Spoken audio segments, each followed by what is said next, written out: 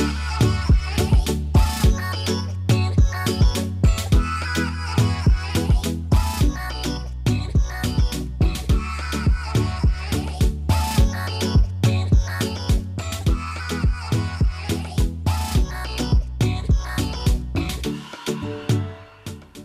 Llegamos a la época del año donde los estudiantes que están cursando sus últimos años en la escuela secundaria están pensando en qué carrera universitaria seguir, cómo deben hacer para inscribirse, en este caso en la Universidad Nacional de Río Cuarto, y obviamente también aprovechar y disfrutar de los beneficios y servicios que nuestra universidad les puede brindar. Es por eso que se han abierto las preinscripciones para las becas del año 2020 y de eso vamos a estar hablando en la entrevista de esta tarde junto a Miguel Díaz y Sandro Oviedo que ya están con nosotros. Gracias, por venir. No, gracias, a ustedes por invitarme. Y buenas tardes.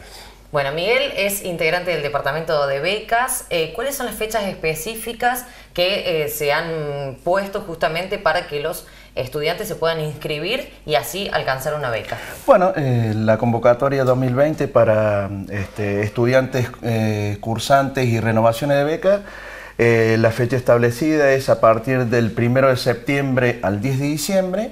Es una preinscripción obligatoria que tiene que hacer el alumno cursante y las renovaciones a través del CIAL. ¿sí? Es un nuevo sistema que ha sido implementado a partir del año 2019 donde el alumno hace una preinscripción y eh, luego eh, digitaliza toda la documentación. Eso nos lleva a no estar ahorrando en lo que tema papel y ser todo digitalizado. Y em, a medida que se va inscribiendo, eh, hay un instructivo el cual le dice cuál es la documentación que tiene que adjuntar ¿sí? Si es, del, de, si es de Río Cuarto, el mismo sistema le extiende un turno, le damos alrededor de 7 a 10 días para que el estudiante pueda juntar la documentación y subirla a internet y luego presentarla al departamento de becas para nosotros corroborar de que la documentación que haya subido a, a, la página sea legible, sea bien visible y no haya ningún tipo que no esté borroso y que nosotros podamos observarla bien y nosotros ahí le damos entrada, ¿sí? Y luego eh, pasa una etapa evaluativa que eso lo vamos a estar realizando cuando el alumno cursante y aquel que está renovando termine los llamados de exámenes especiales de febrero y marzo. Los chicos que son foráneos, chicos que estamos hablando que no son de Río Cuarto, ellos realizan un informe socioeconómico, además de la documentación que está en el instructivo en la página que tiene que traer, nosotros aconsejamos que lo hagan en su localidad de origen, en alguna institución que sea pública, para que el alumno no tenga ningún tipo de gasto. Entonces, generalmente los enviamos a sus municipios, seguramente una trabajadora social hay en cada municipio y si no hubiera, los enviamos a algunos eh, pueblos todavía que tienen juez de paz y ellos también están autorizados para realizar ese tipo de informe. El último día de presentación de documentación va a ser el día 20 de diciembre, sin excepción, en el horario de 7.30 de la mañana ¿sí? hasta las 15.30 horas. Y el último día que vamos a estar recibiendo y controlando la documentación, que va a ser el día 20 de diciembre, va a ser hasta las 12 horas. Bien, esto se realiza para los estudiantes que ya están cursando en la Universidad de Río Cuarto. ¿Qué pasa con los ingresantes que comienzan en el año 2020? Bueno, nosotros con los ingresantes lo primero que estamos necesitando de que sea alumno. ¿Sí? Este, necesitamos que estén inscriptos también, como cuando se preinscriben para la facultad. Eh, y eh, hay condiciones para poder hacer el pedido. Una de las condiciones importantes es que aquel alumno ingresante 2020 no tiene que estar dudando materias en el nivel medio es una de las condiciones que nuestro sistema de beca exige para que el alumno pueda hacer el pedido. ¿Por qué? Porque cada unidad académica, eh, como ustedes bien saben, le da un plazo de presentación para aquel alumno que no haya terminado su secundario, pero nosotros al momento de evaluar ese alumno, cuando entramos al sistema, figura como un alumno condicional. Vemos todos, eh, todo en blanco, entonces nuestro sistema no permite poder evaluarlo hasta que la facultad reciba la documentación que ellos piden y le den el alta para así nosotros poder evaluarlo eh, como a cualquier otro alumno. También eh, en, ese, en ese sentido nosotros vamos a estar este, abriendo la inscripción al ingresante a partir del 1 de diciembre también. este, hasta más o menos 25, 26 de diciembre y luego cuando volvemos del receso en febrero, desde el 1 de febrero hasta el 15 de marzo. Bien, justamente son las fechas que coinciden con las inscripciones a las carreras. Exactamente, es todo para, para, para sobre todo para el ingresante, para darle una buena atención, no que no se nos mezcle con los, con los cursantes y con las renovaciones, porque lógicamente tienen muchas más preguntas y muchas más dudas, entonces por eso el, calendario es totalmente distinto al cursante y al que renueva el beneficio. Perfecto. Sandro, comentanos desde la Secretaría de Bienestar cuáles son los tipos de becas que le están ofreciendo a los estudiantes. Bueno, está la beca de ayuda económica, que es una beca que hoy en día eh, tiene un valor para el estudiante de 3.700 pesos en donde 400 pesos eh, ese monto corresponde a la parte de menú, es decir, la posibilidad de que los chicos eh, tengan el acceso directo al menú, digamos, una cuestión que eh, se está tratando de, que los chicos que están en estas condiciones puedan acceder y que lo usen. es bajo el nivel, la cantidad de gente que, que consume el menú que son becarios tenemos aproximadamente un promedio de entre 90 a 95 chicos que, eh, que diariamente comen el, menú.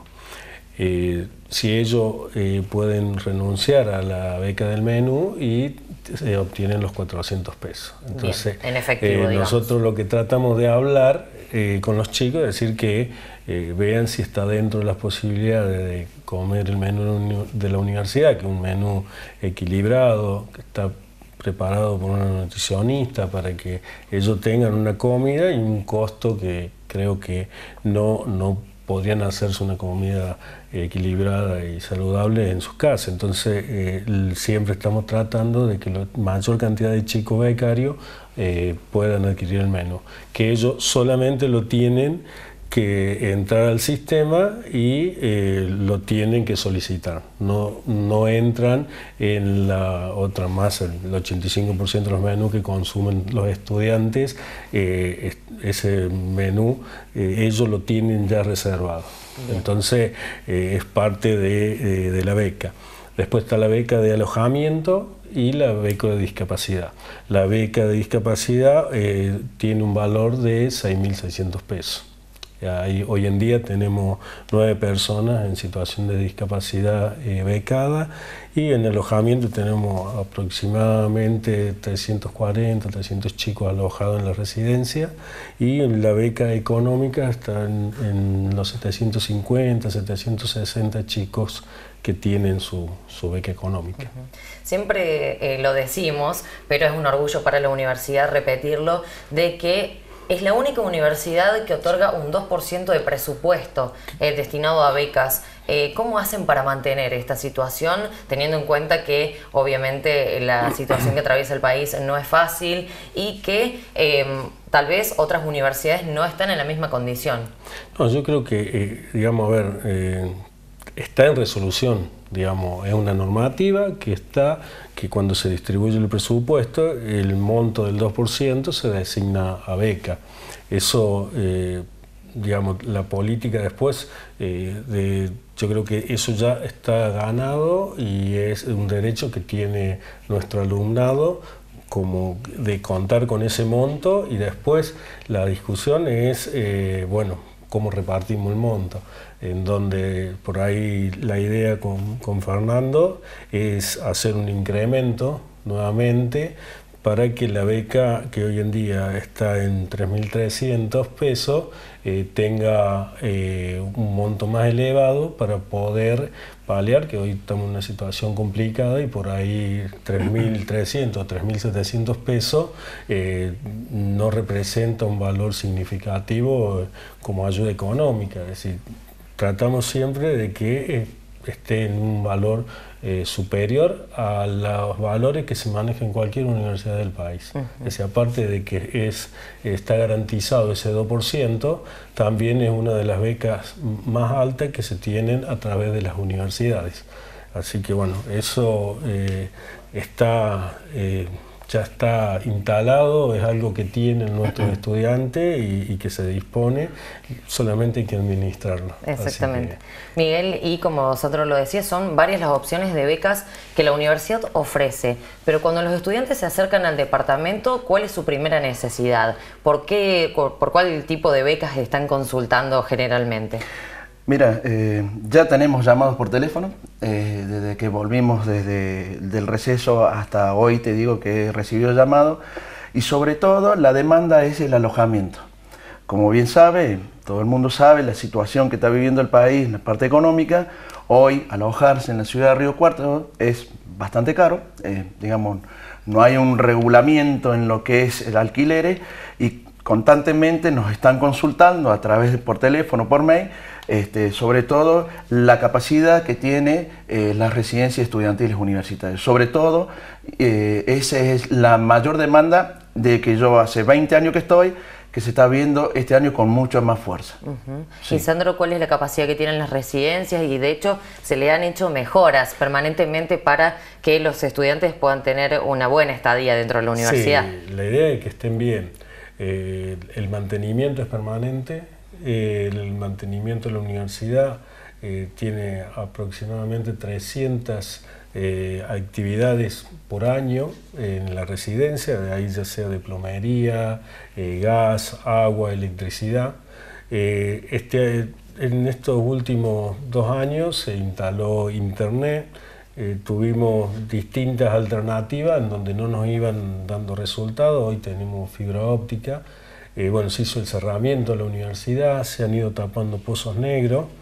Y bueno, la idea es eh, seguir eh, manteniendo y seguir pidiendo algún presupuesto a, nivel nacional para seguir manteniéndola. Es, estas ya tienen más de 25 años, tienen un deterioro, tienen un uso.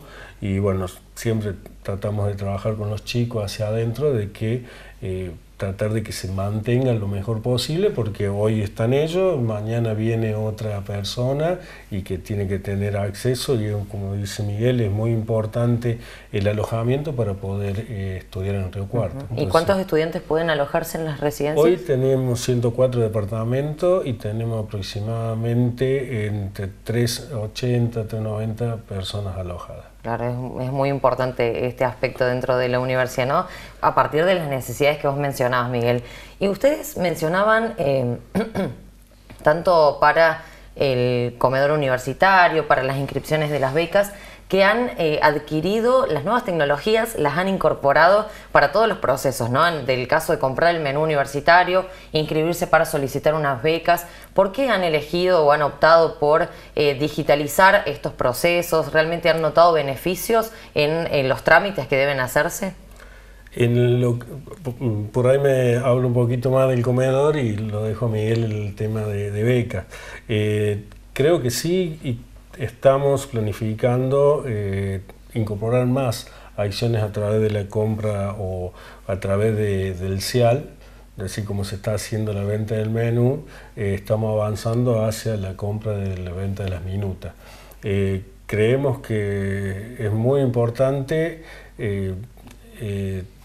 optimizar un poquito más el sistema eh, contable, el, tema del tiempo que la gente pase en el comedor, que sea eh, que aproveche el tiempo para comer y no estar en una cola, que bueno, son situaciones que se van dando el día a día y estamos tratando de resolverlas.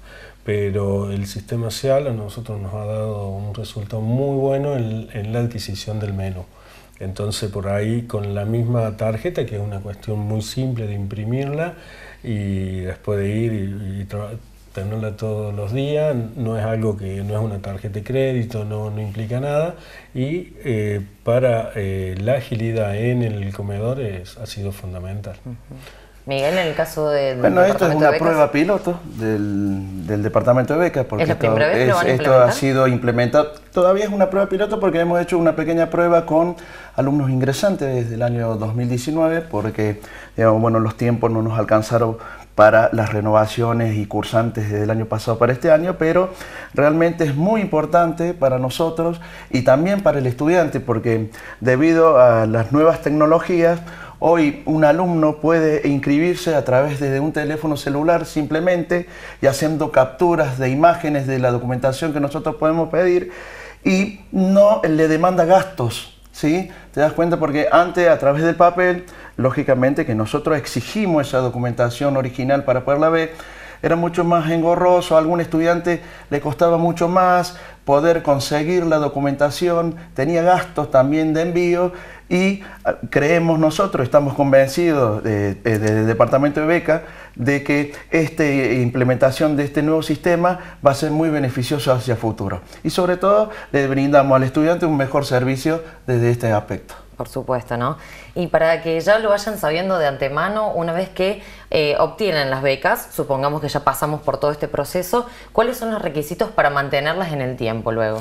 Bueno, eh, nosotros las becas eh, estaríamos más o menos en condiciones de dar un listado preliminar los primeros días de abril, si Dios quiere, y luego nosotros eh, a partir de mayo ya puede hacer uso a aquel estudiante que sea beneficiado, tanto con la beca de ayuda económica, con la beca de alojamiento y así también si tuviéramos algún alumno con algún tipo de discapacidad y informamos eh, cuáles son los deberes, derechos y obligaciones que tienen como becario.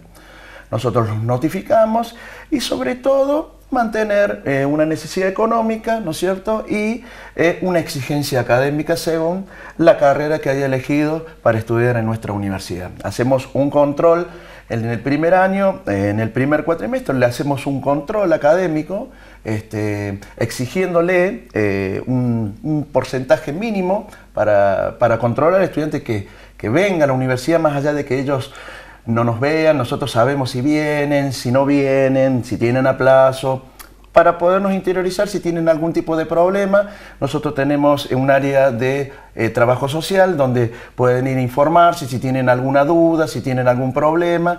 Entonces hacemos ese control y eh, lógicamente sí cumple con lo que está establecido dentro de lo que es eh, el reglamento de beca, que hay una resolución rectoral, seguirá manteniendo la beca o no, eh, porque digamos no es una decisión del departamento de becas, sino que hay una comisión ad hoc del Consejo Superior que está integrado por eh, cinco docentes de cada unidad académica, uno por cada unidad académica, más estudiantes, quienes son sería eh, los que deciden esta cuestión. Sandro, sin embargo, más allá de la ayuda que se le da a los estudiantes para que puedan estudiar, para que puedan llegar a la universidad, también hay un programa de acompañamiento para los estudiantes becarios durante todo este proceso. Sí, hay algunas acciones que ya se están haciendo y bueno, el programa estamos en discusión en el tema del nombre, eh, el más votado es Estar Bien, eh, un programa donde eh, va a incluir proyectos como el de tutoría que ya está en marcha, que bueno, tenemos nueve tutores distribuidos en facultades de donde trabajan en el acompañamiento al estudiante becario y eh, tiene una coordinadora y nueve estudiantes que, son los tutores. Después eh, estamos trabajando con deporte eh, de la misma Secretaría de Bienestar, salud. la idea es trabajar con extensión, con cultura, en donde llevar distintas charlas sobre prevenciones, eh, enfermedades, eh, lo que es deporte, eh, ver qué acciones podemos estar realizando desde la Dirección de Deporte con los chicos de la residencia y también en en relación a la parte cultural. Así, eh, la Secretaría de Extensión tiene un área muy linda, muy grande y muy interesante. Bueno, la idea es que podamos articular y que los chicos puedan estar participando en los talleres que ellos tienen. Lo mismo sería con, con deporte. Entonces, trabajar en forma integral eh, lo que los chicos eh, conviven en la residencia y poder, digamos, tener eh, acompañarlo en todo este proceso que al principio es complicado venir desde afuera, e instalarse en un lugar, vivir en un departamento, muchas veces te toca vivir con dos o tres personas que eh, pueden ser amigos de, quizás de tu localidad, pero nunca convivir en el mismo techo, entonces más lo que decía Miguel, eh, tenés una exigencia académica, no es eh, muy elevada, pero sí tenés que tener un rendimiento académico para mantener la beca. Entonces son todas eh, cuestiones que muchas veces hacen que los chicos dejen la, la, carrera, dejen la universidad. Bueno, la idea es ponerle a disposición de ellos un programa en donde los podamos sostener lo mayor tiempo posible y que puedan graduarse, que es el objetivo que tiene la beca. Muy bien, muchas gracias por toda la información. gracias a usted por invitarme. Bueno, de esta manera entonces los invitamos a todos los interesados, estudiantes que quieren arrancar en el 2020 en la Universidad de Río Cuarto, pueden ingresar a la página web de nuestra universidad www.unrc.edu.ar a través de la Secretaría de Bienestar o en el banner principal tienen toda la información que necesitan para acceder a estas becas de ayuda económica, de discapacidad o de alojamiento en las residencias universitarias.